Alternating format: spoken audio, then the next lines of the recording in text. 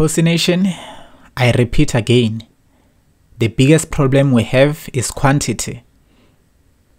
We need more players, at least on each position, seven or three players. So our biggest problem at this moment is quantity.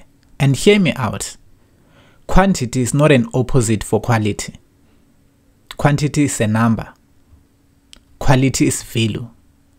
So these two things zihamba ndawonye bafethu. We need quantity with quality.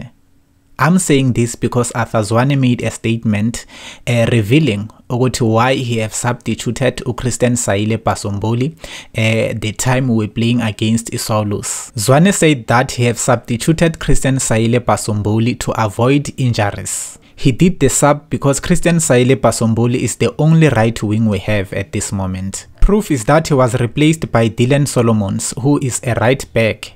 So just imagine there's no replacement for Basomboli.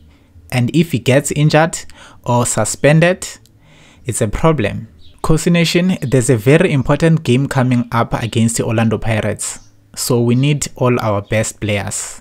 I'm praying ukuthi uDove Edmilson abe available because we saw what happened against the Swallows.